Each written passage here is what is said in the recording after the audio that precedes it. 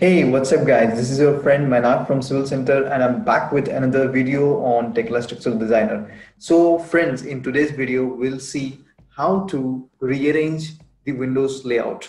So friends, it happens quite often in Tekla Structural Designer software that your Windows, some windows like the properties window or any scene content window, any windows are mismatching or the arrangement has changed due to some reason you have closed it or something. So let's just let let us have a look at it.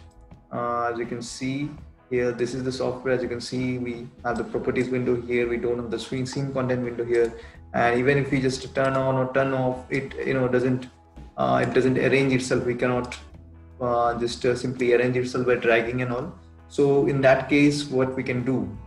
So uh, first of all uh, it is important to know when this problem appears suppose you close one window and then you turn it back on and then uh, maybe probably it uh, it doesn't uh, come, appear in its original place. So how can you decide that? Let's just quickly see.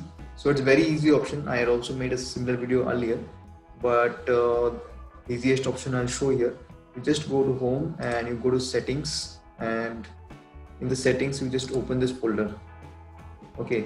Open this folder. So it's basically your version of the Tekla structure design you're using. You just click on it. Now you need to delete these two documents. But before that you ensure that you just close your Tekla structural designer software and then you go to your particular folder and then delete this two documents. So I'll shift and delete these two documents permanently. Then I'll open Tekla structural designer again whichever version you're using we have deleted these two files. These two files actually contain the uh, information of the Windows layout. If you delete them, it's reset to uh, the original position. So let's find out when the software will open whether I have my original layout back. So friends, as you can see, we have the original layout back. If I just go ahead and click uh, open a new file, I can find out that my original layout is back, my scene content is back in place, every windows are back in place. So friends if you ever just uh, by mistake close this or if you ever find the properties window missing uh, and uh, even if you go to this windows and you turn it on it doesn't come to the original place. So you can simply use this process use this method to reset your windows layout. So guys hope you find this video useful and stay tuned to our channel.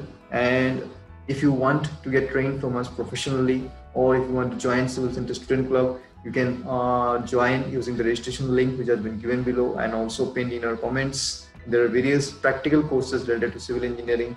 You can join them and you can enhance your skills. That's all for today. Stay tuned to our channel and keep commenting. Bye bye